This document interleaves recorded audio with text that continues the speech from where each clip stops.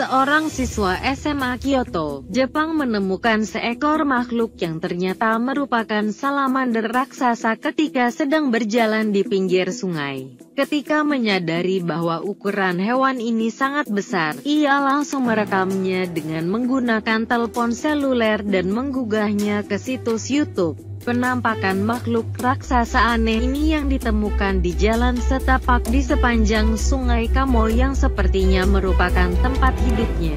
Salamander raksasa Jepang ini sangat jarang terlihat, terutama karena rumah mereka di dasar air dan hanya aktif pada malam hari. Salamander biasanya hanya seukuran kadal, namun binatang yang ditemui ini jauh lebih besar dari ukuran biasanya. Hingga kini video tersebut telah dilihat sebanyak 8 juta kali.